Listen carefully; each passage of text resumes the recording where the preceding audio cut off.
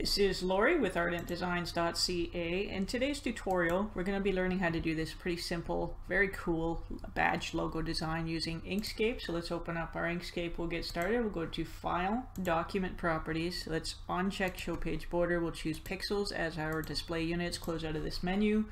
We'll go to View, Zoom, One to One, and then we'll open up our Align and Distribute, Edit Objects, Colors, Gradients menu. We'll start by going to the Stars and Polygons tool. Click on that Press Control as you're dragging your polygon and then you'll be sure to have your points up and down. So let's select this. I have a stroke on here which I'm going to take off for now. Press Shift and X if you also have a stroke. We'll just uh, we'll just have the fill for now. So you should have fill down here black and stroke set to none. Let's squish this down a little bit, not too much, and we'll scale it up just a little bit bigger. Now what we're going to do is we're going to round these corners by going up to Path and dynamic offset, we'll just pull this up just a little bit. We'll give it a little bit of a round. And the more you pull it up, the more round the corners will be. I'm just going to do it a little bit. Go back to the select tool path, object to path to finalize that. Right click on this, we'll go to duplicate. We'll take the fill off by pressing the X button in the bottom left corner there. Press shift and red, we'll give it a red stroke. We'll drop the stroke to the bottom using this button up here. Lower selection to the bottom and come over to the fill and stroke style tab and choose 10 I don't know why it says 10.01 but 10 is good enough. And I'm going to take these snaps off because they will get in the way. I'm just going to press shift and control and I'm going to scale this up. And the space in between is up to you how much space you have in between. I'm just going to go with a little bit there. And um, click off the graphic for now. Let's Okay, this is the fun part here. What I've done is I've chosen a, uh, a vector off of Pixabay and I'm going to show you actually how you can create your own vector. So I'm going to go to my desktop. I'm going to search for a photo that I dropped there earlier. So I'll go to desktop and then just drag and drop the picture in and you want to make sure that embed is selected. Click OK and let's shrink this down a little bit, press shift and control and we'll shrink it down really small. So this is an image. We need to make this a vector. So let's go to path, trace bitmap, and you want to make sure that your live preview is ticked. Let's choose, I know that I usually try for this color quantization, but I know that it's not going to work. So you can, uh, you can try, maybe it'll work for you. I'm going to go with uh, grays click on that and it comes out pretty good. So let's let's see if I can get away with two. And that's not even that bad either. So I'm going to go with two and grays. I'm going to click OK. And then I'm going to click out of this menu and move this aside. This will be our vector and this image here. Let's delete it. We don't need it. So what we're going to do is we're going to put this in here. Let's zoom to look at our graphic in depth here. I'm going to shrink this down using shift and control and I'm basically going to make several copies of this. So control D, duplicate is control D. We're going to do this a few times. So control D, do this several times and we're just going to make basically the way it would look if it was a forest. I'm going to make tall skinny trees, maybe tall fat trees.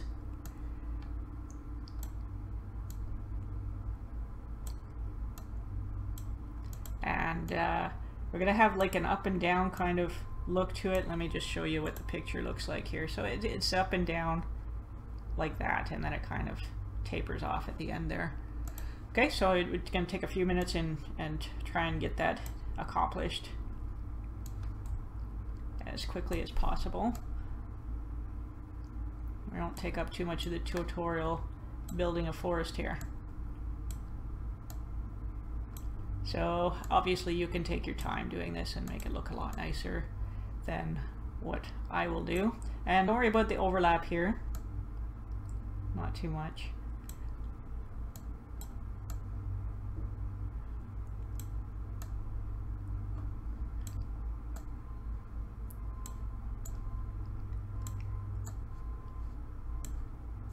Oh, last one. Okay, let's Scale that up.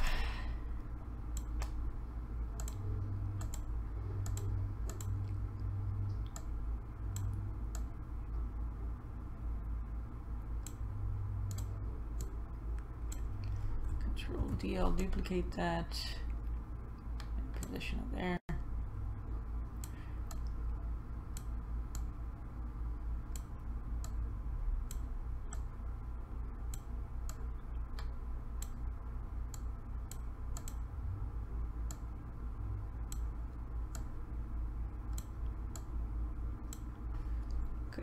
Uh, I'm actually going to duplicate a bunch of these. Control D to duplicate. Let's move it over about here.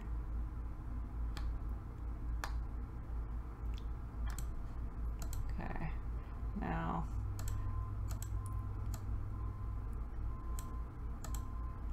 I don't want these, uh, let's see. Yeah, it actually doesn't matter how far down they come. Because the text is also going in the negative space.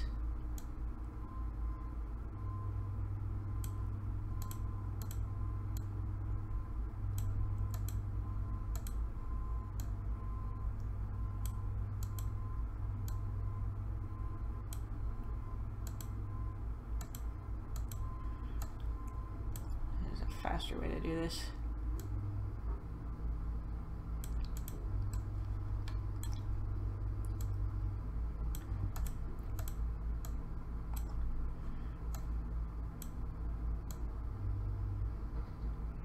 Okay, let's group them all together.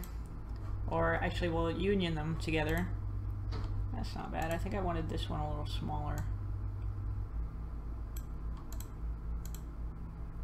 Maybe uh, these ones a little bigger. If you have a hard time selecting, just zoom in. There we go. Be wider. And I this space there.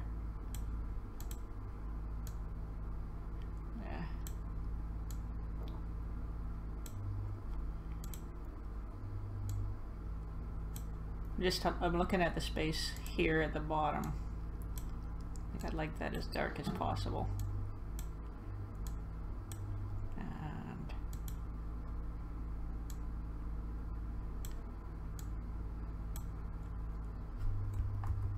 I want the tree to look silly though.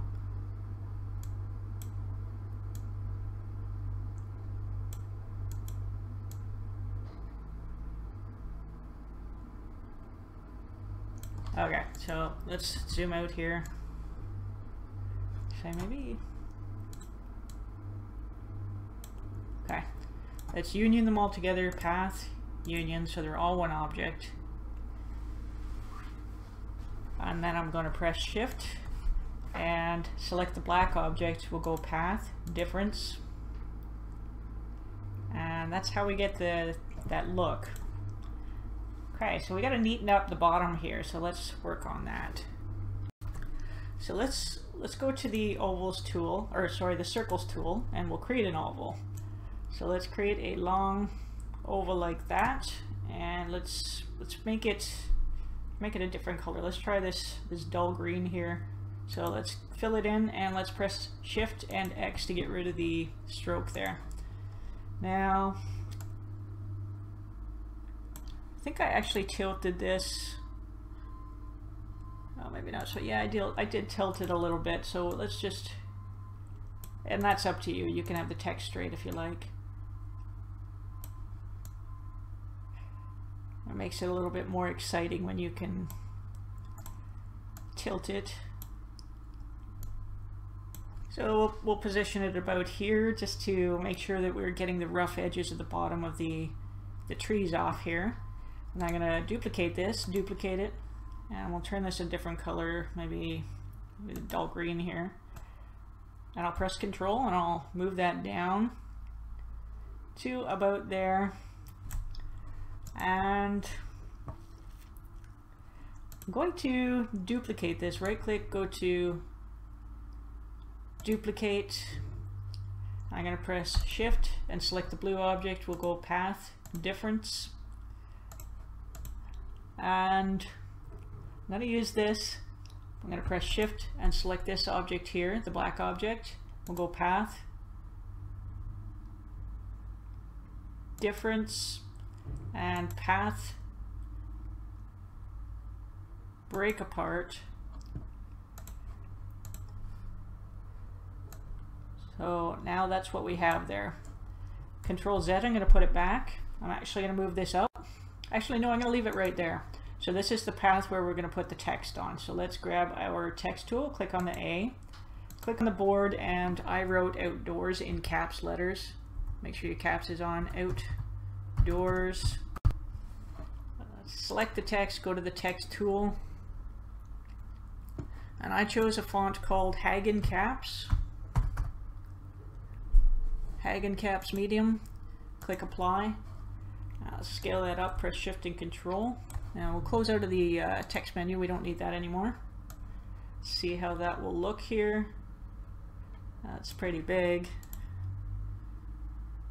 Okay, I'll scale it down just a little bit.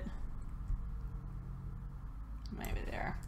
Okay, so put that aside for now and I'll press shift and I'll select this green object here and we'll go text, put on path and click off the graphic Let's select the text here, go to your text tool, and you get this little cursor here. You need to press the left arrow key, which is going to seem kind of backwards, but that's the way it works. So now let's press our spacebar once we get the air, our cursor key in front of the there or the the O. and then we'll press the spacebar until we get it to a position that we like. And one more. No. Back. Okay. So go back to the select tool. And I think I'm actually going to push this circle up a little bit. So let's press control. Let's move it up just a little bit so that we have a little bit of space here and it should be even amount of space with the, the rest of this stroke here. So when you're satisfied that with that, let's click on the text here and we'll go path, object to path, and then we can remove this circle.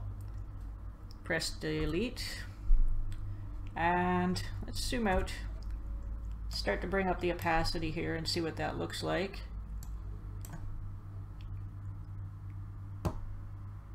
There we go. Okay. Let's make that I'm actually, I think it looks better all control Z. I'll make, undo that.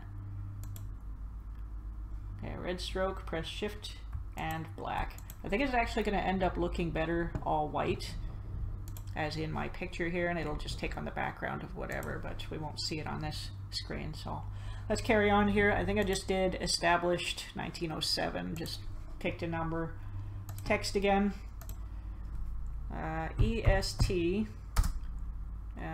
1907. We'll select it, we'll turn it white so we can see it. Press shift and control so we can make it bigger. Let's go to the text tool and we'll choose Hagin Caps again. Click apply, close out of this menu. Press shift and select this out outer rectangle here, or rectangle, octagon, and we'll center that on the vertical axis. Click off the graphic, and let's finalize this text here. Let's go path, object to path, that's finalized. And then lastly, we'll just go to the stars tool, press control and drag to create, uh, let's choose stars first. Let's go up to our menu here. Let's choose stars and five for corners, 0.375. Press control and we'll drag to create a perfect star. And the reason why I press control is so this one point goes downwards and then we're just going to select it and then flip it the other way. So so then uh, the points are even. So let's take the stroke off press shift and X and then we'll fill it in with white. So let's grab this star put it over here. Let's shift and control to scale it down. Grab the scaling handle. Uh, still too big press shift and control and I'll actually scale in so that I can see it here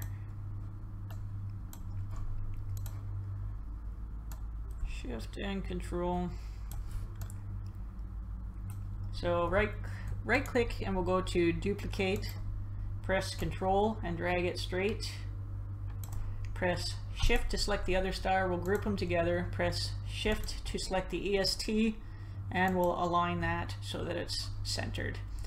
So let's click off the graphic, let's zoom out using the minus key, see how everything looks here. Now lastly we have to, let's actually put a background on this so that we can understand what we're doing here. So I'm going to grab the rectangle tool, I'm going to click to drag a rectangle, let's color it in any color, it doesn't matter. Select it, drop it to the bottom. Okay, so now we, we can see that it looks pretty good. Let's, uh, let's turn the whole thing,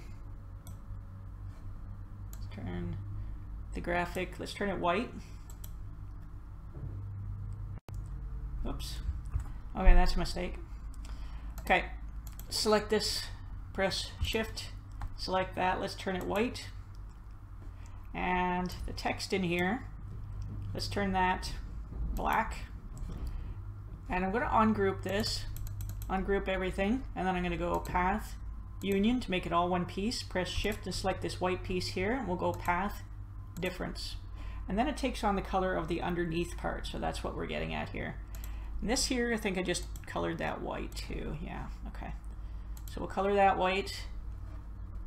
And all these pieces, I'm to press delete. All these pieces. Those were extra bits, that's why I was trying to get the, the trees closer together, so that's just a little tip for when you're when you're creating that tree back. So let's let's go to the select tool here. Let's, let's uh, zoom in and let's make sure we turn this white. Whoops, Control Z. Make sure I've got the right thing selected. Press Shift and white. We'll finalize that by going to Path, Stroke to Path, and let's zoom out Let's grab the entire graphic and we will group it together. And if you like the tutorial, please like, subscribe, find me on Facebook to get updates on new tutorials, and as always, thank you for watching.